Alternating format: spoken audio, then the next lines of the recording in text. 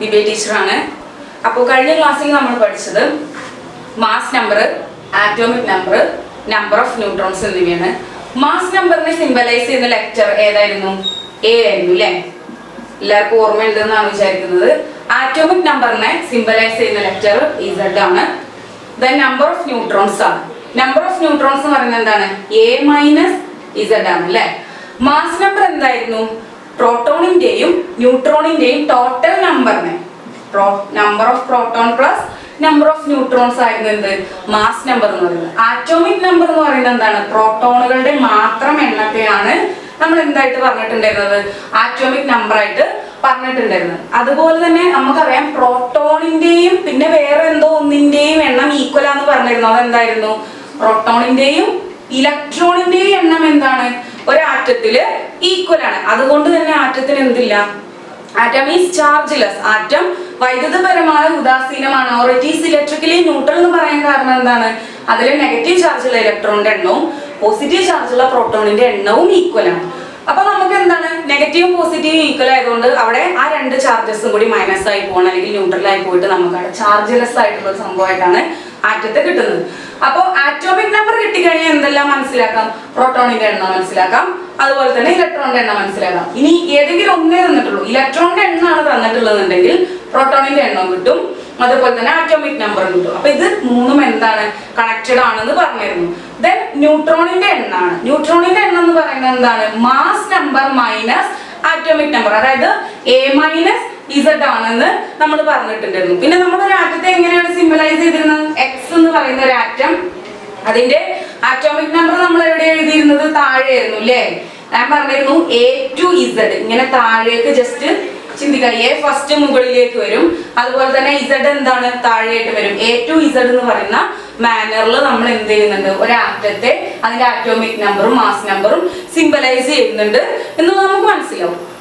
Okay ഇനി നിങ്ങൾ page number പതിനെട്ട് എടുക്കുക. അതിൽ ടേബിൾ വൺ പോയിന്റ് ത്രീ പട്ടിക ഒന്നേ പോയിന്റ് മൂന്നിൽ നമുക്കൊരു കോളം കൊടുത്തിട്ടുണ്ട്. ആ കോളത്തിൽ കുറച്ച് ആറ്റംസ് കൊടുത്തിട്ടുണ്ട്. ഹൈഡ്രജൻ ഹീലിയം ലിഥിയം അങ്ങനെ കുറച്ച് ആറ്റംസ് കൊടുത്തിട്ടുണ്ട്. അപ്പൊ അതിൽ എന്താണ് ചോദിക്കുന്നത്? ഹൈഡ്രജന്റെ ആറ്റോമിക് നമ്പറും മാസ് നമ്പറും ഞാൻ പറഞ്ഞിരുന്നു ആറ്റോമിക് നമ്പറും മാസ് നമ്പറും എങ്ങനെ എഴുതുക എന്നുള്ളതൊക്കെ. അതിൽ ആറ്റോമിക് നമ്പറും മാസ് നമ്പറും കൊടുത്തിട്ടുണ്ട്. അത് വെച്ചിട്ട് നമ്മൾ എന്തെല്ലാം കണ്ടുപിടിക്കണം? ഇസഡ് ഇസഡ് എന്ന് പറയുന്നത് എന്താണ്? ആറ്റോമിക് നമ്പറാണ് എ മാസ് നമ്പർ അപ്പൊ ആറ്റോമിക് നമ്പർ മാസ് നമ്പർ കണ്ടുപിടിക്കണം. പിന്നെ ആറ്റത്തിലുള്ള പാർട്ടിക്കിൾസിന്റെ എണ്ണം അതായത് പ്രോട്ടോൺ എത്ര ഉണ്ട് ഇലക്ട്രോൺ എത്ര ഉണ്ട് ന്യൂട്രോൺ എത്ര ഉണ്ട് എന്നുള്ളത് നമ്മൾ ആ കോളത്തിൽ കോളം വെച്ചിട്ട് കണ്ടുപിടിക്കുകയാണ് അപ്പൊ ഞാൻ ഒരു മൂന്നെണ്ണം ഞാൻ ജസ്റ്റ് നിങ്ങൾക്ക് ഒന്ന് കാണിച്ചു തരാം എങ്ങനെയാണ് ഇത് കാൽക്കുലേറ്റ് ചെയ്യുന്നത് എന്നുള്ളത്. ബാക്കി മൂന്നെണ്ണം നിങ്ങൾ സ്വയം ഒന്ന് ചെയ്തു നോക്കുക. അപ്പൊ ഫസ്റ്റ് ആറ്റം നമുക്ക് തന്നിട്ടുള്ളത് എച്ച് വൺ വൺ ആണ്. അതായത് എച്ച് ഈ ആറ്റത്തിന്റെ ഒക്കെ സിമ്പിൾസ് പഠിക്കാനുണ്ട്. അത് ഏതൊക്കെയാണ് പഠിക്കേണ്ടതെന്ന് ഞാൻ പറഞ്ഞുതരാം. എച്ച് വൺ വൺ ഇതിപ്പോ ഹൈഡ്രജൻ ആറ്റ് ആണ്.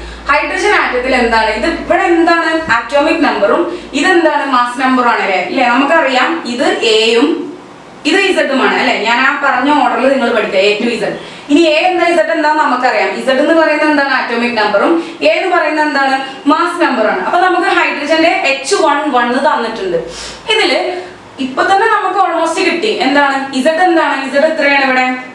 Z equals one then A എത്രയാണ്? എ ഈക്വൽസ് വൺ പിന്നെ നമുക്ക് എന്താ കണ്ടുപിടിക്കാനുള്ളത്? പ്രോട്ടോണിന്റെ എണ്ണം. നമ്പർ ഓഫ് പ്രോട്ടോൺസ് എത്രയാണെന്നാണ് പ്രോട്ടോണിന്റെ എണ്ണം എന്തിന് ഈക്വൽ ആണെന്ന് പറഞ്ഞിട്ടുണ്ടായിരുന്നു? ആറ്റോമിക് നമ്പറിന് ഈക്വൽ ആണെന്ന് പറഞ്ഞിട്ടുണ്ടായിരുന്നു. പ്രോട്ടോണിന്റെ പ്രോട്ടോണിന്റെ എണ്ണം എത്രയാണ്? വൺ ദെൻ പ്രോട്ടോണിന്റെ സെയിം എണ്ണം തന്നെയാണ് എന്തിനും വരിക? ഇലക്ട്രോണിന് വരിക. അപ്പോൾ ഈക്വൽസ് വൺ അല്ല ഇലക്ട്രോണിന്റെ എണ്ണം എന്ന് പറയുന്നത് ഒന്ന് തന്നെയാണ്. ഇനി അടുത്ത ചോദിച്ചിട്ടുള്ള ന്യൂട്രോണിന്റെ എണ്ണാണ്. നമ്പർ ഓഫ് ന്യൂട്രോൺസ് എന്ന് പറയുന്നത് എങ്ങനെയാണ് കണ്ടുപിടിക്കുക? Mass number minus atomic number അതായത് എ മൈനസ് ഇസഡ് അല്ലേ? എ മൈനസ് ഇസഡ് എന്ന് പറയുമ്പോൾ നമുക്ക് എ എത്രയാണ്? വൺ ആണ്. ഇസഡ് എത്രയാണ്? വൺ ആണ്. One minus one equals zero ഇതാണ് എന്ത്? നമുക്ക് കിട്ടുന്ന ഓരോ കണികകളുടെയും എണ്ണവും അതുപോലെ തന്നെ ആറ്റോമിക് നമ്പർ എന്താ? മാസ് നമ്പർ എന്താ? ഈ സംഭവമാണ് നമുക്ക് കണ്ടുപിടിക്കാറ്. നെക്സ്റ്റ് ഇനി അടുത്തത് വേറൊരു ആറ്റം വന്നിട്ടുണ്ട്. എന്താണ്? ഹീലിയം. ഹീലിയത്തിന്റെ എച്ച് ഇ എത്രയാണ്? ഫോറ് അതുപോലെ തന്നെ ടു ഇങ്ങനെയല്ലേ വന്നിട്ടുള്ളത്. അപ്പൊ ഇതിൽ ആറ്റോമിക് നമ്പർ എത്രയാ? മാസ് നമ്പർ എത്രയാ? നിങ്ങൾ ജസ്റ്റ് ഒന്ന് എഴുതി നോക്കുക. അതായത് എ എത്രയാണ്? ഇവിടെ വരിക. എ ഈക്വൽസ് ഫോർ ദെൻ അടുത്തത് മാസ് നമ്പർ എത്രയാണ്? ഇസഡ് ഈക്വൽസ് ടു അപ്പൊ ആറ്റോമിക് നമ്പർ ഫോറും mass number sorry mass number ഫോറും ആറ്റോമിക് നമ്പർ ടു ആണ് നമുക്ക് കിട്ടി. ദെൻ ഇതിൽ നമുക്ക് അടുത്തത് എന്താ കണ്ടുപിടിക്കുക പ്രോട്ടോണിന്റെ എണ്ണം അതായത് number of protons P equals അത് എന്തിന് സെയിം ആണെന്ന് പറഞ്ഞിട്ടുണ്ടായിരുന്നു?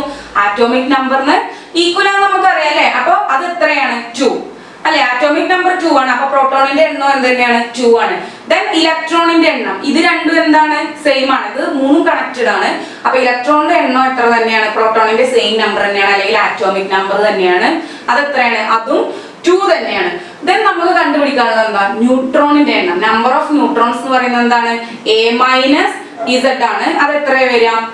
ഫോർ മൈനസ് ടു എത്ര കിട്ടി? ടു എന്ന് കിട്ടി. അപ്പൊ ഇങ്ങനെയാണ് നമ്മൾ എന്ത് ചെയ്യുക? ആ കോളം കംപ്ലീറ്റ് ചെയ്യുക. ദെൻ ലിതിയാണ് അടുത്തത്. ആ ലിഥിയം എങ്ങനെയാണ് ചെയ്യുന്നത്? ഇനിയുള്ള ആറ്റംസ് എത്രയാണ് അതിന്റെ ഓരോന്നിന്റെ പാർട്ടിക്കിൾസിന്റെ എണ്ണ എങ്ങനെയാണെന്നുള്ളത് ഞാനിപ്പോ ചെയ്തു തന്ന ഇതേ മോഡൽ തന്നെ നിങ്ങൾ ജസ്റ്റ് ഒന്ന് ചെയ്ത് നോക്കുക. അപ്പൊ നിങ്ങൾ നോട്ട്ബുക്കിൽ ഇതൊന്ന് ചെയ്യുക. ഓരോന്നിന്റെ എണ്ണം എങ്ങനെ കണ്ടുപിടിക്കുക. കോളം ഒന്ന് ജസ്റ്റ് വരയ്ക്കുക.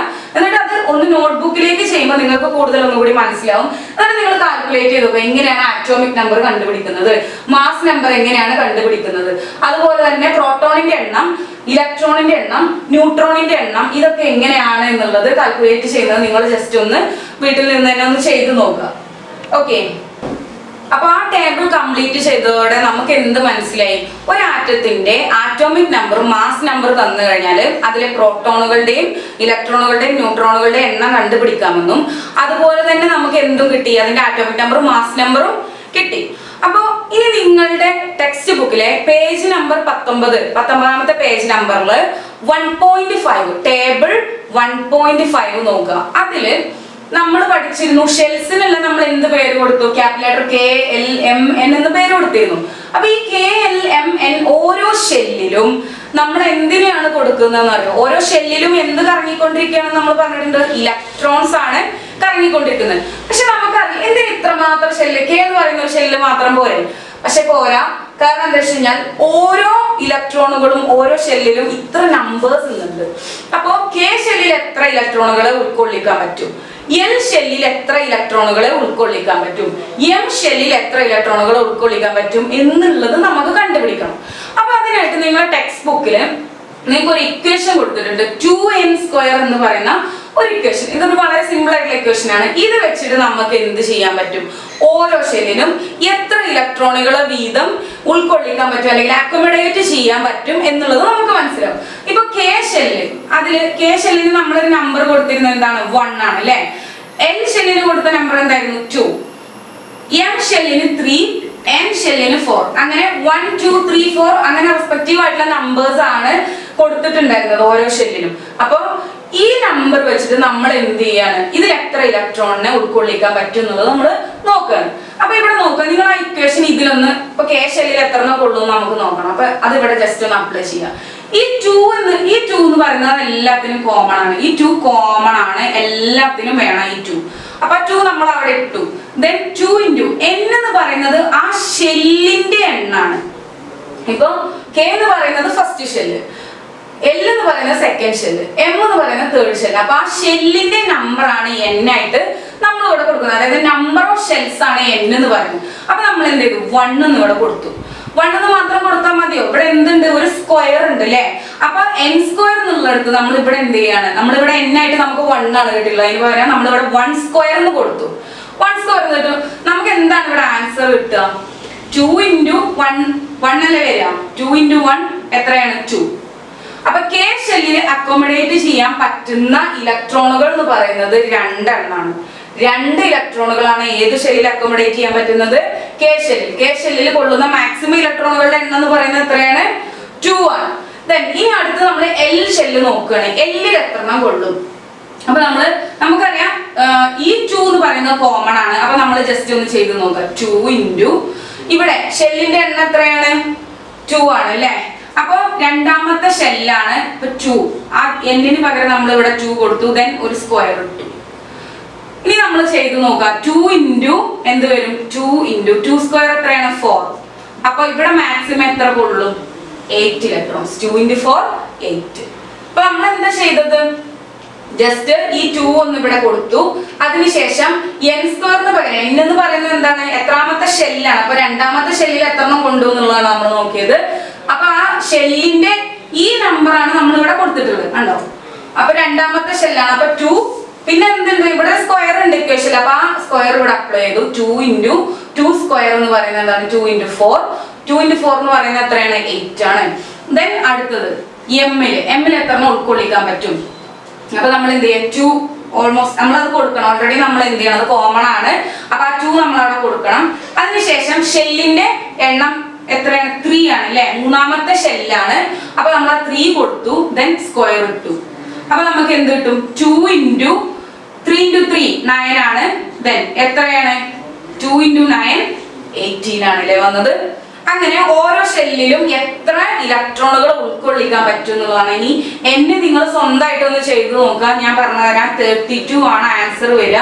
അപ്പോൾ ഇത് ഓരോ ഷെല്ലിലും എത്ര ഇലക്ട്രോണുകൾ ഉൾക്കൊള്ളിക്കാൻ പറ്റും എന്നുള്ളത് നമ്മൾ കണ്ടുപിടിച്ചാണ്. കെ ഷെല്ലിൽ എത്ര ഇലക്ട്രോണുകളെ കൊള്ളും? രണ്ട് ഇലക്ട്രോണുകളെ. എൽ ഷെല്ലിൽ എത്ര ഇലക്ട്രോണുകളെ കൊള്ളും? എട്ട് ഇലക്ട്രോൺസിനെ കൊള്ളും. എം ഷെല്ലിൽ എത്ര കൊള്ളും? എയ്റ്റീൻ ഇലക്ട്രോൺസ് അല്ലെങ്കിൽ പതിനെട്ട് ഇലക്ട്രോണുകളെ ഉൾക്കൊള്ളിക്കാൻ പറ്റും. ദെൻ എൻ ഷെല്ലിൽ എത്ര ഇലക്ട്രോണുകളെ ഉൾക്കൊള്ളിക്കാം? തേർട്ടി ടു അല്ലെങ്കിൽ മുപ്പത്തിരണ്ട് ഇലക്ട്രോണുകളെ നമുക്ക് ഉൾക്കൊള്ളിക്കാൻ പറ്റും. ഇനി ഇത് വെച്ചിട്ട് നമ്മൾ ഓരോ ആറ്റത്തിന്റെയും അറ്റോമിക് നമ്പർ വെച്ച് നമ്മൾ കൊടുക്കുകയാണ് എത്ര ഇലക്ട്രോണുകളെ ഓരോ ഷെല്ലിൽ കൊടുക്കാൻ പറ്റും എന്നുള്ളത്. അപ്പൊ നമ്മൾ ഓരോ ഷെൽസിലും എത്ര ഇലക്ട്രോൺസുകളെ അക്കോമഡേറ്റ് ചെയ്യാൻ പറ്റും എന്നുള്ളത് കണ്ടു.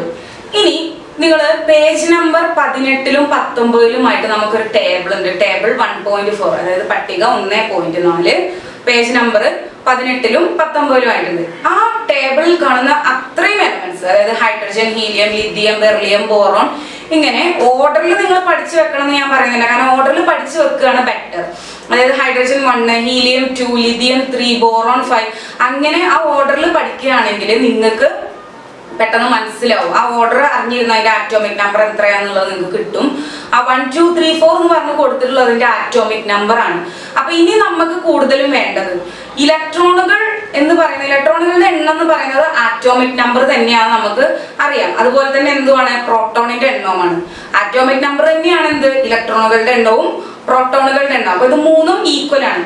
ഇനി നമുക്ക് ആറ്റോമിക് നമ്പർ മാത്രം കെയർ ചെയ്തിട്ട് നോക്കിയാൽ പോയാൽ മതി. കാരണം എന്താ വെച്ച് കഴിഞ്ഞാൽ മാസ് നമ്പർ നമുക്ക് കണ്ടുപിടിക്കേണ്ട ആവശ്യം എന്ന് പറയുന്നത് ന്യൂട്രോണുകളുടെ എണ്ണം എത്രയാണെന്ന് ചോദിക്കുമ്പോൾ മാത്രമാണ് ന്യൂട്രോണുകളുടെ എണ്ണം ചോദിക്കുകയാണെങ്കിൽ മാസ് നമ്പർ എത്രയാണെന്ന് അറിയണം. പക്ഷേ ഇവിടെ ഇലക്ട്രോണിക് കോൺഫിഗറേഷൻ അല്ലെങ്കിൽ ഇലക്ട്രോൺ വിന്യാസപ്പെടുത്തുന്നതിന് അങ്ങനെയാണ് പറയാ ഇലക്ട്രോണിക് കോൺഫിഗറേഷൻ അല്ലെങ്കിൽ ഇലക്ട്രോൺ വിന്യാസം ചെയ്യുന്നതിന് നമുക്ക് ആറ്റോമിക് നമ്പർ മാത്രം മതി.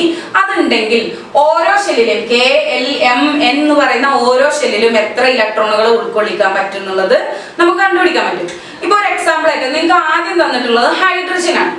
അപ്പൊ ആ കോളത്തിലുണ്ട് നിങ്ങൾ നോക്കുക ഹൈഡ്രജൻ അതിന്റെ ആറ്റോമിക് നമ്പർ ആറ്റോമിക് നമ്പർ മാത്രം കെയർ ചെയ്താൽ മതി. ഹൈഡ്രജന്റെ ആറ്റോമിക് നമ്പർ എന്ന് പറയുന്നത് വൺ ആണ്. ഫസ്റ്റ് ആറ്റം ആണ് പീരിയോഡിക് ടേബിളിലെ അതുകൊണ്ട് തന്നെ ഹൈഡ്രജന്റെ ആറ്റോമിക് നമ്പർ എന്ന് പറയുന്നത് എത്രയാണ്? വൺ ആണ്. ഇവിടെ മാസ് നമ്പർ നമ്മൾ കെയർ ചെയ്യണ്ട. നമുക്ക് കണ്ടുപിടിക്കേണ്ടത് എത്ര ഇലക്ട്രോണുകൾ ഹൈഡ്രജൻ ആറ്റത്തിൽ ഉണ്ടെന്നും അതിന് എത്ര ഷെൽസ് ഉണ്ടെന്നുള്ളതാണ്. അപ്പൊ നമുക്കറിയാം കെ എന്ന് പറയുന്ന ഷെല്ലിൽ എത്ര ഇലക്ട്രോണിനെ അക്കോമഡേറ്റ് ചെയ്യാം? രണ്ട് ഇലക്ട്രോണെ നമ്മൾ കണ്ടുപിടിച്ചിരുന്നു അല്ലെ? ടു എം സ്ക്വയർ വെച്ചിട്ട് നമ്മൾ കണ്ടുപിടിച്ചിട്ടുണ്ടായിരുന്നു. രണ്ട് ഇലക്ട്രോണുകളെ നമുക്ക് കെ എന്ന് പറയുന്ന ഷെല്ലിൽ അക്കോമഡേറ്റ് ചെയ്യാൻ പറ്റും. അപ്പൊ ഹൈഡ്രജൻ എത്ര ഇലക്ട്രോൺ ഉണ്ട്? ഒരു ഇലക്ട്രോണേ ഉള്ളൂ. അപ്പൊ അവിടെ ചോദിച്ചിട്ടുണ്ട് കെ എൽ എം എന്ന് പറഞ്ഞിട്ട് നിങ്ങൾക്ക് ഇങ്ങനെ കോളായിട്ട് കൊടുത്തിട്ടുണ്ടാവേ. അപ്പൊ കെ ഷെല്ലിൽ ഹൈഡ്രജന്റെ എത്ര ഇലക്ട്രോൺ അക്കോമഡേറ്റ് ചെയ്യാൻ പറ്റും? നിങ്ങളൊന്ന് ജസ്റ്റ് നോക്കി ആദ്യം ആറ്റോമിക് നമ്പർ എത്രയാ നോക്കാം നിങ്ങൾ ആദ്യം ഇങ്ങനത്തെ സംഭവങ്ങൾ കിട്ടുമ്പോൾ നിങ്ങൾ ആദ്യം ചെയ്യേണ്ടത് ഇലക്ട്രോണിക് കോൺഫിഗറേഷൻ അല്ലെങ്കിൽ ഇലക്ട്രോൺ വിന്യാസം എഴുതാനുണ്ട് എന്ന് പറയുമ്പോൾ ആദ്യം നിങ്ങൾ അതിന്റെ ആറ്റോമിക് നമ്പർ എത്രയും നോക്കണം. ഹൈഡ്രജന്റെ ആറ്റോമിക് നമ്പർ എത്രയാണ്? വൺ ആണ് അല്ലെ? ഒന്നാണ് എന്ത്? ഹൈഡ്രജന്റെ ആറ്റോമിക് നമ്പർ അപ്പൊ നിങ്ങൾ നോക്കുക. ഇതിൽ എത്ര ഷെൽസ് വരും? നമുക്കറിയാം കെ ഷെല്ലിൽ മാക്സിമം രണ്ട് ഇലക്ട്രോൺ കൊള്ളും ഇല്ലേ? ഹൈഡ്രജൻ ആകെ എത്ര ഇലക്ട്രോണേ ഉള്ളൂ ഒരു ഇലക്ട്രോണേ ഉള്ളൂ. അപ്പൊ ഹൈഡ്രജൻ ആകെ എത്ര ഷെല്ലേ ഉണ്ടാവുള്ളൂ? ഒരു ഷെല്ലേ ഉണ്ടാവുള്ളൂ. അതും കെ ആണ്. കെയിൽ എത്ര എണ്ണം കൊള്ളും? രണ്ടെണ്ണം കൊള്ളും. അതിൽ ഹൈഡ്രജൻ ആകെ ഒന്നേ ഉള്ളൂ. ആ ഒന്ന് നമ്മൾ കെയിൽ കൊടുത്തു. രണ്ടെണ്ണം ഉണ്ടോ? ഇല്ല. രണ്ടെണ്ണം കഴിഞ്ഞാലാണ് നമ്മൾ എങ്ങോട്ട് പോകുക എല്ലിലേക്ക് പോവുക. എല്ലിൽ എട്ടെണ്ണം കംപ്ലീറ്റ് ആകുമ്പോൾ നമ്മൾ എങ്ങോട്ട് പോകും? എല്ലിൽ മാക്സിമം എട്ടെണ്ണമാണ് കൊള്ളുക. അപ്പൊ എല്ല് എട്ടെണ്ണം കംപ്ലീറ്റ് ആയി കഴിഞ്ഞാൽ നമ്മൾ എങ്ങോട്ട് പോകും എമ്മിലേക്ക് പോകും. അപ്പൊ കെ എന്ന് പറയുന്ന ഷെല്ലിൽ ഒരു ഇലക്ട്രോൺ ഹൈഡ്രജന്റെ ദെൻ ഹീലിയം അടുത്ത ആറ്റം എന്ന് പറയുന്നത് ഹീലിയമാണ് ഹീലിയത്തിന് ഹീലിയത്തിന്റെ ആറ്റോമിക് നമ്പർ എത്രയാണ്? അവിടെ ടെക്സ്റ്റിൽ കൊടുത്തിട്ടുണ്ട്. എത്രയാണ്? ടു ആണ് അല്ലെ? അപ്പൊ ആറ്റോമിക് നമ്പർ നമ്മൾ എന്ത് ചെയ്യുക? ടു എന്ന് കൊടുക്കുക. ആറ്റോമിക് നമ്പർ ടു എന്ന് കൊടുക്കുക. ഇസഡ് എത്രയാണ്? ടു ആണ്. ഇനി അതിൽ എത്ര ഷെൽസ് ഉണ്ടാവും എന്നുള്ളത് നമ്മൾ നോക്കുക. അപ്പൊ കെയിൽ നമുക്കറിയാം എത്ര ഷെൽ എത്ര ഇലക്ട്രോണിനെയാണ് അക്കോമഡേറ്റ് ചെയ്യാൻ പറ്റുക? രണ്ട് ഇലക്ട്രോണിനെയാണ് അപ്പൊ ആ രണ്ട് ഇലക്ട്രോണെ നമ്മൾ എവിടെ അക്കോമഡേറ്റ് ചെയ്തു? കെയിൽ അക്കോമഡേറ്റ് ചെയ്തു. കെയിൽ കൊള്ളിച്ചു. ഇനി എല്ലിലേക്ക് ഹൈഡ്രജൻ ഹീലിയത്തിൽ ഉണ്ടോ? ഹീലിയത്തിൽ ഇലക്ട്രോൺ ഉണ്ടോ? ഇല്ല. കാരണം എന്താ മാക്സിമം ഇലക്ട്രോണുകളുടെ എണ്ണം എന്ന് പറയുന്നത് രണ്ടാണ്. ഹീലിയത്തിൽ ആകെ രണ്ട് ഇലക്ട്രോണുകൾ മാത്രമേ ഉള്ളൂ. ആ രണ്ട് ഇലക്ട്രോണുകൾ നമ്മൾ എവിടെ കൊടുത്തു? കെയിൽ കൊടുത്തു. അപ്പം ഹീലിയത്തിനും എത്ര ഷെല്ലേ ഉള്ളൂ? ആകെ ഒരു ഷെല്ല് മാത്രമേ ഉള്ളൂ. അത് കെ ഷെല്ലാണ് ഹൈഡ്രജനും എത്ര ഷെല്ല് മാത്രമേ ഉള്ളൂ? ഒരു ഷെല്ലേ ഉള്ളൂ. അതും തന്നെയാണ് കെ ഷെല്ലാണ് അപ്പൊ ഫസ്റ്റ് ആ ഷെല്ല് നമ്മൾ ഇവിടെ കംപ്ലീറ്റ് ചെയ്തു. ആ സംഭവം നമ്മൾ കംപ്ലീറ്റ് ചെയ്തു. അപ്പൊ ഇനി അടുത്ത ആറ്റം എന്ന് പറയുന്നത് ഏതാണ്? ലിതിയാണ് ലിഥിയത്തിന്റെ നമ്മൾ താഴെ കൊടുക്കുന്ന നമ്പർ ഏതാണ്? ആറ്റോമിക് നമ്പർ ആണ്. അപ്പൊ ഹീലിയത്തിന്റെ ആറ്റോമിക് നമ്പർ നമ്മൾ ജസ്റ്റ് ഇവിടെ നിന്ന് എഴുതാണ് എന്താണ്? ത്രീ ആണ് അല്ലെ ഇത് ഹീലിയത്തിന്റെ ആണ് ഇത് ഹൈഡ്രജന്റെ ആണ് അപ്പൊ ലിതിയത്തിന്റെ ആറ്റോമിക് നമ്പർ എന്ന് പറയുന്നത് ത്രീ ആണ്. അപ്പൊ ലിഥിയത്തിന്റെ ഇലക്ട്രോണിക് കോൺഫിഗറേഷൻ എങ്ങനെയാണ്? ഈ വേർഡ് നിങ്ങൾ പഠിച്ചിരിക്കണം. ഇലക്ട്രോണിക് കോൺഫിഗറേഷൻ അല്ലെങ്കിൽ ഇലക്ട്രോൺ വിന്യാസം. എന്ന് പറഞ്ഞാൽ ഓരോ ഷെല്ലിൽ എത്ര ഇലക്ട്രോണുകൾ ഉണ്ട് എന്നുള്ളതാണ്. എത്ര ഷെൽസ് ഉണ്ടാവും അപ്പൊ നമുക്ക് അറിയാൻ പറ്റും. ഇപ്പൊ ഹൈഡ്രജനിലും ഹീലിയത്തിലും ആകെ ഒരു ഷെല്ലേ ഉള്ളൂ ഇല്ലേ കാരണം എന്താ? ഇലക്ട്രോണുകളുടെ എണ്ണം അത്രയും കുറവാണ്. ഇനി നമ്മൾ ലിഥിയാണ് നോക്കുക ലിഥിയത്തിലെ ആറ്റോമിക് നമ്പർ എന്ന് പറയുന്നത് ത്രീ ആണ്. ആറ്റോമിക് നമ്പർ വെച്ചിട്ടാണ് നമ്മൾ എന്ത് ചെയ്യുന്നത്? ഇലക്ട്രോണിക് കോൺഫിഗറേഷൻ അല്ലെങ്കിൽ ഇലക്ട്രോൺ വിന്യാസം വിന്യാസപ്പെടുത്തിയിരിക്കുന്നത്. അപ്പോ കെയിൽ നമ്മളിവിടെ ത്രീ ആണ് തന്നിട്ടുള്ളത്. കെയിൽ മാക്സിമം എത്രയേ കൊള്ളുള്ളൂ എത്രയേ കൊള്ളുള്ളൂ ടു ആണ് അല്ലെ? ടു ഇലക്ട്രോണെ മാത്രമേ നമുക്ക് കെ ഷെല്ലിൽ അക്കോമഡേറ്റ് ചെയ്യാൻ പറ്റുള്ളൂ. അപ്പൊ ടു നമ്മൾ ഇവിടെ കൊടുത്തു. ഇതുകൊണ്ട് മാത്രം ലിഥിയത്തിന്റെ ഇലക്ട്രോണുകളുടെ എണ്ണം കംപ്ലീറ്റ് ആയോ? ഇല്ല കാരണം എന്താ? ഇനി ഒരു ഇലക്ട്രോണും കൂടി ഇവിടെ ബാക്കി ഉണ്ടാവില്ലേ? കാരണം എന്താ? ലിഥിയത്തിന്റെ ആറ്റോമിക് നമ്പർ എന്ന് പറയുന്നത് എത്രയാണ്? ത്രീ ആണ്. മാക്സിമം മൂന്ന് ഇലക്ട്രോണുകൾ ആരതിലുണ്ട്? ലിഥിയത്തിലുണ്ട് രണ്ട് ഇലക്ട്രോണ് നമ്മൾ കെയിൽ കൊടുത്തു. കേശൽ നിറഞ്ഞു. ഇനി കെയിൽ ഒരൊറ്റ ഇലക്ട്രോണിനെ പോലും ഉൾക്കൊള്ളിക്കാൻ പറ്റില്ല. അപ്പൊ നമ്മൾ എന്ത് ചെയ്യും? നോർമലി അടുത്ത ഷെല്ലിലേക്ക് ആരെ കൊടുക്കും? ബാക്കിയുള്ള ഇലക്ട്രോണിനെ കൊടുക്കും. ഇപ്പൊ ബാക്കി എത്ര ഇലക്ട്രോൺ ഉണ്ട്? ഒരു ഇലക്ട്രോൺ അത് നമ്മൾ എവിടെ കൊടുത്തു? എല്ലെന്ന് പറയുന്ന ഷെല്ലിൽ കൊടുത്തു. അപ്പൊ കെ ഷെല്ലിൽ രണ്ട് ഇലക്ട്രോൺ ആയപ്പോ കെ എന്ന് നിറഞ്ഞു പക്ഷെ ലിഥിയത്തിൽ മൂന്ന് ഇലക്ട്രോൺ ഉണ്ട്. അപ്പൊ രണ്ടെണ്ണം കൊടുത്തു. അതുകൊണ്ട് മാത്രമായില്ല. ബാക്കി ഒരു ഇലക്ട്രോൺ അവിടെ കിടക്കുകയാണ്. അതിന് നമ്മൾ എവിടെ കൊടുക്കും? കെ എന്ന് നിറഞ്ഞപ്പോ എല്ലിലേക്ക് കൊടുത്തു. അടുത്ത ആറ്റം എന്ന് പറയുന്നത് ബോറോൺ ബി ബിന്റെ ആറ്റോമിക് നമ്പർ എത്രയാണ്? ഫൈവ് ആണ്. ആറ്റോമിക് നമ്പർ ഫൈവ് എന്ന് പറയുമ്പോൾ എന്താണ്? അതിന് മാക്സിമം അഞ്ച് ഇലക്ട്രോൺ ആണ് ഉള്ളത് അപ്പൊ ബിയുടെ ആറ്റോമിക് നമ്പർ എന്ന് പറയുന്നത് ഫൈവ് ആണ്. ഈ ആറ്റോമിക് നമ്പർ വെച്ചിട്ട് നമ്മൾ എന്ത് ചെയ്യാണ്? ബോറോണിന്റെ ഇലക്ട്രോണിക് കോൺഫിഗറേഷൻ ചെയ്യാൻ പോകണം അപ്പോ നമുക്കറിയാം കേശലിൽ എത്ര കൊള്ളും? രണ്ട് ഇലക്ട്രോണിനെ കൊള്ളും. ദെൻ ബാക്കി എത്ര ഇലക്ട്രോൺ ഉണ്ട്? രണ്ടെണ്ണം. അഞ്ചിൽ നിന്ന് രണ്ടെണ്ണം പോയി കഴിഞ്ഞാൽ മൂന്ന് ഇലക്ട്രോൺ. അപ്പൊ ആ മൂന്ന് ഇലക്ട്രോണെ നമ്മൾ എവിടെ കൊള്ളിച്ചു? എൽ എന്ന് പറയുന്ന ഷെല്ലിൽ കൊള്ളിച്ചു. അപ്പൊ കെയിൽ രണ്ടെണ്ണത്തെ നമ്മൾ അക്കോമഡേറ്റ് ചെയ്തു. കെ ഷെല്ല് കംപ്ലീറ്റ് ആയി. ദെൻ ബാക്കിയുള്ള മൂന്നെണ്ണത്തിന് നമ്മൾ എവിടെ കൊടുത്തു? എല്ലിൽ കൊടുത്തു. ഇല്ലേ? അപ്പൊ അങ്ങനെ ബോറോണിന് എത്ര ഷെൽസ് ഉണ്ട് നമുക്കറിയാം? രണ്ട് ഷെല്ല് ഏതൊക്കെയാണ്? കെ ഉണ്ട് എല്ലുണ്ട് ലിഥിയത്തിന് എത്ര ഷെല്ലുണ്ട് രണ്ട് ഷെല്ല് കെ ഉണ്ട് എല്ലുണ്ട് ഹൈഡ്രജനും ഹീലിയത്തിനും ആകെ ഒരു ഷെല്ല് മാത്രമേ ഉള്ളൂ. കാരണം അതിൽ അത്രേ ഇലക്ട്രോണുകളുടെ എണ്ണം വരുന്നുള്ളൂ. അതിന് കെ ഷെല്ല് മാത്രമേ ഉള്ളൂ. ഇനി അടുത്ത ആറ്റം എന്ന് പറയുന്നത് നൈട്രജൻ ആണ്. അപ്പൊ ഞാൻ എല്ലാം ഒന്നും ചെയ്തു തരുന്നില്ല. വളരെ കുറച്ച് ആറ്റംസ് മാത്രമേ നമ്മൾ ഇവിടെ ചെയ്യുന്നുള്ളൂ. ബാക്കി നിങ്ങൾ ഒറ്റയ്ക്ക് ചെയ്യാം. ഓക്കെ ആർഗൺ വരെയുള്ള ആറ്റംസ് അതിലുണ്ട്. അതിൽ ചിലതൊക്കെ നിങ്ങൾ സ്വന്തമായിട്ട് തന്നെ ചെയ്ത് നോക്കുക. ടെക്സ്റ്റിൽ തന്നെ ജസ്റ്റ് പെൻസിൽ വെച്ചിട്ട് ഒന്ന് ചെയ്ത് നോക്കുക. അപ്പൊ നൈട്രജൻ നൈട്രജൻ നോക്കുക. ആറ്റോമിക് നമ്പർ എത്രയാണ്? സെവൻ ആണ്. അപ്പം നിങ്ങൾ ആദ്യം എന്ത് ചെയ്യണം? ഇസഡ് എത്രയാന്ന് എഴുതണം. നൈട്രജന്റെ ഇസഡ് എത്രയാണ്? ആറ്റോമിക് നമ്പർ എത്രയാണ്? സെവൻ ആണ്. ഇനി നമ്മൾ ഷെൽസ് കൊടുക്കുകയാണ്. കെ എൽ എം എന്ന് പറഞ്ഞിട്ട് ഷെൽസ് കൊടുക്കണം അപ്പൊ ഓരോ ഷെല്ലിലും എത്ര ഇലക്ട്രോൺസ് ഉണ്ടാവുന്നത്? അപ്പൊ നൈട്രജനിൽ ഏഴ് ഇലക്ട്രോൺസ് ആണ് മൊത്തം ഉള്ളത് അതിൽ നമ്മൾ എന്ത് ചെയ്യാണ്? രണ്ടെണ്ണത്തിന് എവിടെ കൊടുത്തു. കേശലിൽ കൊടുത്തു. നമുക്കറിയാം കേശലിൽ മാക്സിമം രണ്ടെണ്ണേ കൊള്ളുള്ളൂ ബാക്കി നമ്മൾ എവിടെ കൊടുക്കും? എൽ ഷെല്ലിൽ കൊടുക്കും. അപ്പൊ സെവൻ മൈനസ് ടു എത്രയാണ്? ഫൈവ് ആണ് അല്ലേ? അപ്പൊ ബാക്കി അഞ്ച് ഇലക്ട്രോണെ നമ്മൾ എവിടെ കൊടുത്തു? എൽ ഷെല്ലിൽ കൊടുത്തു. കെ ഷെല്ലിൽ രണ്ടെണ്ണം ആയപ്പോ കംപ്ലീറ്റ് ആയി. ഏഴാണ് എന്ത്? അറ്റോമിക് നമ്പർ രണ്ടെണ്ണം മതിയോ? രണ്ടെണ്ണം കൊണ്ട് എന്താവില്ല? നൈട്രജന്റെ ഫുള്ള് ഇലക്ട്രോണിക് കോൺഫിഗറേഷൻ ആവില്ല അല്ലെങ്കിൽ ഇലക്ട്രോൺ ഫുള്ള് വിന്യാസപ്പെടുത്താൻ കഴിയില്ല. അപ്പൊ നമ്മൾ എന്ത് ചെയ്തു? രണ്ടെണ്ണത്തിന് കെയിൽ കൊടുത്തു മാക്സിമം ആയി കഴിഞ്ഞപ്പോൾ ബാക്കിയുള്ള ഇലക്ട്രോണിനെ എവിടെ കൊടുത്തു. എൽ ഷെല്ലിൽ കൊടുത്തു. ബാക്കി അഞ്ച് ഇലക്ട്രോൺ നമ്മൾ എൽ ഷെല്ലിൽ കൊടുത്തു. ദെൻ അടുത്തത് നിയോൺ ഇത് നെക്സ്റ്റ് അല്ല. ഇത് ഞാൻ കുറച്ച് സ്കിപ്പ് ചെയ്തിട്ടുണ്ട്. എന്നാലും നിങ്ങൾക്ക് മനസ്സിലാൻ വേണ്ടിയിട്ടാണ് ചില ആറ്റംസ് മാത്രമാണ് ഞാൻ ചെയ്യുന്നത്. അപ്പൊ നിയോണിന്റെ അറ്റോമിക് നമ്പർ എന്ന് പറയുന്നത് എത്രയാണ്? ടെൻ ആണ്. പത്താണ് നിയോണിന്റെ ആറ്റോമിക് നമ്പർ അപ്പോൾ പത്ത് എത്ര ഇലക്ട്രോൺ ഉണ്ടാവും? ആറ്റോമിക് നമ്പറോ ഇലക്ട്രോണുകളുടെ എണ്ണം പ്രോട്ടോണുകളുടെ എണ്ണം ഒക്കെ ഒരു ആറ്റത്തിൽ തുല്യമാണെന്ന് നമ്മൾ പറഞ്ഞിരുന്നു. അപ്പോ നിയോണിൽ പത്ത് ഇലക്ട്രോണുകളാണുള്ളത് അപ്പൊ ഇതിനൊന്ന് ഇതിന്റെ ഇലക്ട്രോണിക് കോൺഫിഗറേഷൻ നമുക്ക് ജസ്റ്റ് നോക്കാം. അപ്പൊ നമ്മൾ നോക്കുക. രണ്ടെണ്ണം ഇവിടെ നമ്മൾ കൊടുക്കും. നോർമലായിട്ട് കെയിലെല്ലാം കൊടുക്കും ഇല്ലേ? കെയിൽ നമ്മൾ എത്ര കൊടുത്തു? രണ്ടെണ്ണം കൊടുത്തു. ദെൻ അടുത്തത് എല്ല് ഷെല്ലിൽ എത്രണ്ണം? പത്തിൽ നിന്ന് രണ്ട് പോയി. ടെൻ മൈനസ് ടു എത്രയാണ്? എയ്റ്റ് ആണ് അല്ലെ അപ്പൊ എയ്റ്റ് എന്നുള്ളത് നമ്മൾ ഇവിടെ കൊടുത്തു. എൽ ഷെല്ലിൽ കൊടുത്തു. അപ്പൊ കെയിൽ രണ്ടെണ്ണവും എൽ ഷെല്ലിൽ എത്രണ്ണവും ഉൾക്കൊള്ളിച്ചു. എട്ടെണ്ണവും ഉൾക്കൊള്ളിച്ചു. ദെൻ അടുത്ത നോക്കുക. സോഡിയം എൻ എ സോഡിയം എത്രയാണ്? ലെവൻ ആണ്. ആറ്റോമിക് നമ്പർ സോഡിയത്തിന്റെ ആറ്റോമിക് നമ്പർ എത്രയാണ്? ലെവൻ ആണ്. അപ്പൊ നമ്മൾ എന്ത് ചെയ്യുക ആറ്റോമിക് നമ്പർ ജസ്റ്റ് ആദ്യം ഒന്ന് എഴുതിയിടുക. എങ്കിൽ നമുക്ക് ഇലക്ട്രോണിക് കോൺഫിഗറേഷൻ എഴുതി പോകാൻ ഈസിയാണ് അപ്പൊ പതിനൊന്നാണ് എന്ത്? സോഡിയത്തിന്റെ ആറ്റോമിക് നമ്പർ ഈ ആറ്റോമിക് നമ്പർ വെച്ചിട്ട് നമ്മൾ എന്ത് ചെയ്യണം? ഇലക്ട്രോണെ കോൺഫിഗറേഷൻ ചെയ്യാണ്. അപ്പോൾ ഇതിൽ എത്ര ഇലക്ട്രോൺ ഉണ്ട്? പതിനൊന്ന് ഇലക്ട്രോൺ ഉണ്ട്. അതിൽ രണ്ടെണ്ണത്തിന് നമ്മൾ എവിടെ കൊടുത്തു? ഇതുവരെ ചെയ്ത പോലെ തന്നെ രണ്ടെണ്ണത്തിന് നമ്മൾ എവിടെ കൊടുത്തു? കെ ഷെല്ലിൽ കൊടുത്തു. ദെൻ അടുത്ത ഷെല്ല് ഏതാണ്? എൽ ഷെല്ലാണ് കെ എന്നറിഞ്ഞു അടുത്ത ഷെല്ലിലേക്ക് പോവാണ്. അപ്പോ എൽ ഷെല്ലിൽ എത്ര കൊടുത്തു? എൽ ഷെല്ലിൽ മാക്സിമം എത്ര ഇലക്ട്രോണിനെ കൊള്ളുള്ളൂ? എട്ട് ഇലക്ട്രോണിനെ മാത്രമേ എൽ ഷെല്ലിൽ കൊള്ളുള്ളൂ. നമ്മൾ നേരത്തെ ചെയ്ത് നോക്കി ഇക്വേഷൻ വെച്ചിട്ട് ചെയ്ത് നോക്കിയപ്പോൾ നമുക്ക് കിട്ടിയിരുന്നു എൽ ഷെല്ലിൽ മാക്സിമം എട്ട് ഇലക്ട്രോണിനെ കൊള്ളുള്ളൂ. അപ്പൊ എട്ടെണ്ണത്തെയും നമ്മൾ എന്ത് ചെയ്തു? ഇവിടെ കൊടുത്തു. ഇത്ര ഉള്ളോ? നീ സോഡിയത്തിലെ ഇലക്ട്രോൺസിന്റെ എണ്ണം എന്ന് പറയുന്നത് ഇത്ര ഉള്ളൂ? അല്ല. എത്രയാണ്? ലെവൺ ആണ് വരുന്നത് അല്ലേ ലെവൺ അല്ലേ ആറ്റോമിക് നമ്പർ അല്ലെങ്കിൽ പതിനൊന്ന് ഇലക്ട്രോണുകൾ ഏതിലുണ്ട്? സോഡിയത്തിലുണ്ട് അപ്പൊ രണ്ടെണ്ണം നമ്മൾ കെ ഷെല്ലിലും കൊടുത്തു. എട്ടെണ്ണം എൽ ഷെല്ലിലും കൊടുത്തു. അപ്പൊ ബാക്കി ഇനി ഒരു ഇലക്ട്രോൺ ഇലക്ട്രോണിനെ കൊടുക്കണ്ടേ? അതിന് നമ്മൾ എവിടെ കൊടുക്കും? എട്ടെണ്ണം ആയപ്പോ ഏത് ഷെല്ല് കംപ്ലീറ്റ് ആയി? എൽ ഷെല്ല് കംപ്ലീറ്റ് ആയി. ഇനി എല്ലിൽ കൊള്ളില്ല.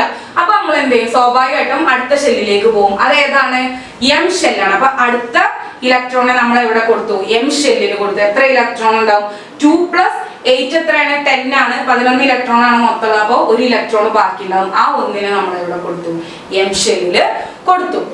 ദെൻ ഇനി അടുത്തത്. അതുപോലെ തന്നെ വേറൊരു ആറ്റാണ് എന്ത്? മഗ്നീഷ്യം മഗ്നീഷ്യം എന്ന് പറയുന്ന ആറ്റത്തിൽ എത്ര ഇലക്ട്രോൺ ഉണ്ട്? പന്ത്രണ്ട് ഇലക്ട്രോൺ ഉണ്ട്. അല്ലെങ്കിൽ മഗ്നീഷ്യത്തിന്റെ ആറ്റോമിക് നമ്പർ എന്ന് പറയുന്നത് എത്രയാണ്? ട്വൽവ് ആണ്. അപ്പൊ നമ്മൾ ആദ്യം എന്ത് ചെയ്യും? ആറ്റോമിക് നമ്പർ ട്വൽവ് എന്ന് എഴുതും. എഴുതി. ദെൻ നമ്മൾ ഇതിന്റെ ഇലക്ട്രോണിക് കോൺഫിഗറേഷൻ നിങ്ങളും ജസ്റ്റ് ഒന്ന് ചെയ്തു നോക്കുക അതിന്റെ കൂടെ. ഇതിന്റെ ഇലക്ട്രോണിക് കോൺഫിഗറേഷൻ ഒന്ന് എഴുതി നോക്കിയേ ആദ്യം കേശലിൽ എത്ര ഇലക്ട്രോണിനെയാണ് കൊള്ളുക? രണ്ട് ഇലക്ട്രോൺ ദെൻ അടുത്തത് എൽ ഷെല്ലിൽ അപ്പൊ രണ്ടെണ്ണം നിന്ന് പോയി ഇനി ബാക്കി പത്ത് ഇലക്ട്രോൺ ഉണ്ട് അല്ലേ? അപ്പൊ നിങ്ങൾ ഇവിടെ കൊടുക്കുന്നത് ഇവിടെ ഇങ്ങനെ മൈനസ് ചെയ്ത് വരണം. അപ്പൊ രണ്ട് ഇലക്ട്രോൺ നമ്മൾ ഇവിടെ കെ ഷെല്ലിന് കൊടുത്തു. ദെൻ അടുത്തത് എട്ട് ഇലക്ട്രോൺ നമ്മൾ ഇവിടെ കൊടുത്തു. എൽ ഷെല്ലിൽ കൊടുത്തു. കംപ്ലീറ്റ് ആയോ? ഇലക്ട്രോണുകളുടെ എണ്ണം കംപ്ലീറ്റ് ആയോ? ടു പ്ലസ് എയ്റ്റ് എത്രയാണ് ടെന്നെ വന്നിട്ട് നമുക്ക് ഇവിടെ ട്വൽവ് ഇലക്ട്രോൺസ് ഉണ്ട്. പന്ത്രണ്ട് ഇലക്ട്രോൺ ഉണ്ട്. നമ്മളിവിടെ പത്ത് ഇലക്ട്രോണിനെ മാത്രമേ ഓരോ ഷെല്ലിൽ വിന്യാസപ്പെടുത്തിയിട്ടുള്ളൂ. അപ്പൊ ഇനി ബാക്കി എത്ര ഇലക്ട്രോൺ ഉണ്ട് ഇതിൽ? പന്ത്രണ്ടിൽ നിന്ന് പത്ത് പോയി കഴിഞ്ഞാൽ ബാക്കി രണ്ട് ഇലക്ട്രോൺ ഉണ്ട് അല്ലെ അപ്പൊ ആ രണ്ട് ഇലക്ട്രോണിനെ നമ്മൾ എവിടെ കൊടുത്തു? എം ഷെല്ലിൽ കൊടുത്തു. അപ്പൊ നോക്കിയേ two plus eight ten ten plus two twelve അല്ലെ? എട്ട് രണ്ട് പത്ത് പന്ത്രണ്ട്. ഈ രണ്ടും കൂടി കൂട്ടി പന്ത്രണ്ട് ഇലക്ട്രോൺ അപ്പൊ ഇത് കംപ്ലീറ്റ് ആയില്ലേ? ഇലക്ട്രോണിക് കോൺഫിഗറേഷൻ എന്തായി? കംപ്ലീറ്റ് ആയി. അപ്പൊ പന്ത്രണ്ട് ഇലക്ട്രോൺ മഗ്നീഷ്യത്തിന്റെ പന്ത്രണ്ട് ഇലക്ട്രോണുകളെ നമ്മൾ വിന്യാസപ്പെടുത്തി. അല്ലെങ്കിൽ അതിന്റെ ഇലക്ട്രോണിക് കോൺഫിഗറേഷൻ എന്ന് പറയുന്നത് എന്താണ്? ടു എയ്റ്റ് ടു ആണ്. അപ്പൊ ഓരോന്നിന്റെ ഇലക്ട്രോണിക് കോൺഫിഗറേഷൻ ജസ്റ്റ് നോക്കിയേ. നൈട്രജന്റെ ആറ്റോമിക് നമ്പർ എന്ന് പറയുന്നത് സെവൻ ആണ്. അതിന്റെ ഇലക്ട്രോണിക് കോൺഫിഗറേഷൻ എന്ന് പറയുന്നത് ടു ഫൈവ് ആണ്. എത്ര ഷെല്ലുണ്ട് അപ്പൊ? രണ്ട് ഷെല്ല് കെ എൽ അല്ലേ? ദെൻ അടുത്തത്. നിയോണിന്റെ പത്ത് ഇലക്ട്രോൺ ആണുള്ളത്. അല്ലെങ്കിൽ ആറ്റോമിക് നമ്പർ എന്ന് പറയുന്നത് പത്താണ്. അതിൽ അതിന്റെ ഇലക്ട്രോണിക് വിന്യാസം അല്ലെങ്കിൽ ഇലക്ട്രോണിക് കോൺഫിഗറേഷൻ എന്ന് പറയുന്നത് എത്രയാണ്? ടു എയ്റ്റ് ആണ്. രണ്ട് ഷെല്ലാണ് വരുന്നത്. ദെൻ സോഡിയം മൂന്ന് ഷെല്ല് വരുന്നുണ്ട്. ടു എയ്റ്റ് വൺ പതിനൊന്നാണ് എന്ത് atomic number magnesium atomic number പന്ത്രണ്ടാണ്. അപ്പോൾ എത്ര ഇലക്ട്രോൺ ഉണ്ട്? പന്ത്രണ്ട് ഇലക്ട്രോൺ ഉണ്ട്. അതിന്റെ ഇലക്ട്രോണിക് കോൺഫിഗറേഷൻ എന്ന് പറയുന്നത് ടു എയ്റ്റ് ടു ആണ് അപ്പൊ എത്ര ഷെല്ലുണ്ട് മൊത്തം? കെ എൽ മൂന്ന് ഷെൽസ് വന്നിട്ടുണ്ട്. ദെൻ അടുത്ത ആറ്റം എന്ന് പറയുന്നത് ആർഗൺ ആണ്. ആർഗണിന്റെ ആറ്റോമിക് നമ്പർ ആർഗണിന്റെ സിമ്പിൾ എന്ന് പറയുന്നത് എ ആർ ആണ്.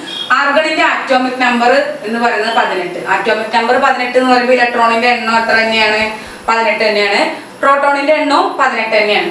അപ്പൊ അത് നിങ്ങൾ ആറ്റോമിക് നമ്പർ ജസ്റ്റ് ഒന്ന് എഴുതുക. എത്രയാണ്? പതിനെട്ടാണ് അല്ലെ?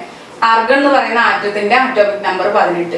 ഇനി ഇതൊന്ന് ഇലക്ട്രോണിക് കോൺഫിഗറേഷൻ വെച്ച് എഴുതാൻ നോക്കിയേ. ഇതിന്റെ ഇലക്ട്രോണിക് കോൺഫിഗറേഷൻ എങ്ങനെയായിരിക്കും കെ ഷെല്ലിൽ എത്ര ഇലക്ട്രോണ് കൊള്ളും? രണ്ട് ഇലക്ട്രോൺ ദെൻ എൽ ഷെല്ലിൽ എത്ര ഇലക്ട്രോണ് കൊള്ളും? നമ്മൾ പറഞ്ഞിരുന്നു എട്ട് ഇലക്ട്രോൺ മാക്സിമം അതിൽ എത്ര കൊള്ളൂ? എട്ട് ഇലക്ട്രോൺ ആണ് എൽ ഷെല്ലിൽ കൊള്ളുക. അപ്പൊ ആ എട്ടെണ്ണത്തിന് നമ്മൾ ഇവിടെ കൊടുത്തു. അപ്പൊ ടു പ്ലസ് എയ്റ്റ് എത്രയാണ്? പത്ത്. അല്ലെ പത്ത് ഇലക്ട്രോൺ ഇപ്പൊ ഓൾറെഡി നമ്മൾ കൊടുത്തു കഴിഞ്ഞു. ഇനി എത്ര ഇലക്ട്രോൺ ആണ് ബാക്കിയുള്ളത്? പതിനെട്ട്. ഇലക്ട്രോൺ മൊത്തം ഉണ്ട്. അപ്പൊ പത്തേ മൈനസ് പതിനെട്ട്. അപ്പൊ നമുക്ക് എത്ര കിട്ടി? ബാക്കി എട്ട് ഇലക്ട്രോൺ ഇതിലുണ്ടെന്ന് മനസ്സിലായി. ആ എട്ട് ഇലക്ട്രോൺ നമ്മൾ ഇവിടെ കൊടുക്കുകയാണ്? എം ഷെല്ലിൽ കൊടുക്കണം. അപ്പൊ എം ഷെല്ലിൽ എട്ട് ഇലക്ട്രോൺ എൽ ഷെല്ലിൽ എട്ട് ഇലക്ട്രോൺ കെ ഷെല്ലിൽ രണ്ട് ഇലക്ട്രോൺ അപ്പൊ ആർഗൺ എന്ന് പറയുന്ന ആറ്റത്തിന്റെ ഇലക്ട്രോണിക് കോൺഫിഗറേഷൻ എന്ന് പറയുന്നത് എന്താണ്? രണ്ട് എട്ട് എട്ടാണ് അല്ലെ?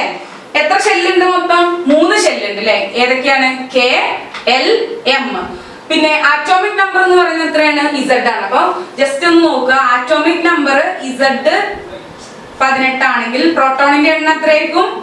അതും പതിനെട്ടായിരിക്കും. ഇലക്ട്രോണിന്റെ എണ്ണം എത്രയായിരിക്കും? അതും എന്ത് തന്നെയാണ്? പതിനെട്ട് തന്നെയാണ്. അപ്പൊ ഇത് മൂന്നും സെയിം ആണ്.